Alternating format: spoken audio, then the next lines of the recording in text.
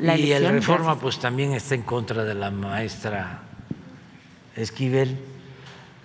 El Reforma lo que quiere es que quede de presidente de la Corte el más rico de los ministros. Y como el Reforma pues investiga, ¿no?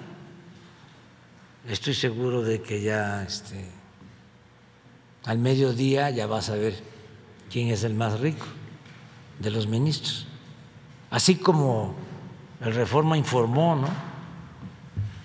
de que el secretario de Seguridad Pública de Felipe Calderón, García Luna, estaba vinculado con el cartel de Sinaloa. Y así como le ha dado seguimiento a todo el juicio de García Luna, así como todos los días se ocupa de nosotros,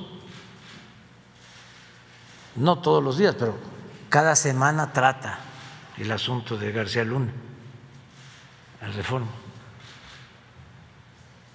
Este, revísenlo y van a ver qué objetivos, qué profesionales, cuánta ética, qué cercanos están al pueblo de México y qué distantes están de la oligarquía y de la banda de malhechores que se sentían dueños de México. Ya me voy, te quedas para mañana, vamos a desayunar. Adiós, adiós.